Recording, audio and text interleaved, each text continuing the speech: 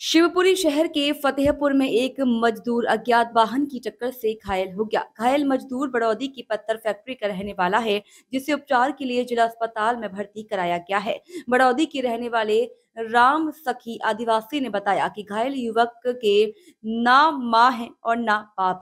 इसलिए बस्ती के लोगों ने उसका नाम टेमपास रख दिया।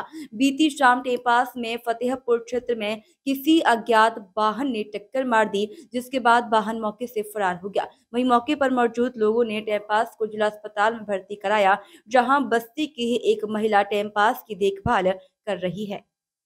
क्या नाम है तुम्हारा? नाम बताओ।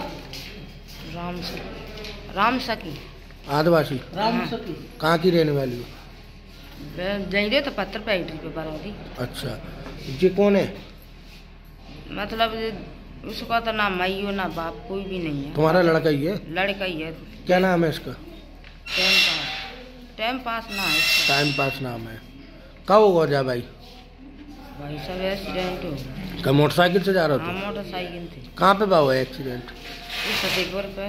चौकी पे। चौकी की। क्या मोटरसाइकिल स्लिप हो गई क्या टक्कर मार दी कोई अब जब भाई साहब जिनने हाथ हो गया मैं तो घर पे आती मैंने को तो पता नहीं है। अच्छा। हाँ। क्या करता है ये मजदूरी करता है।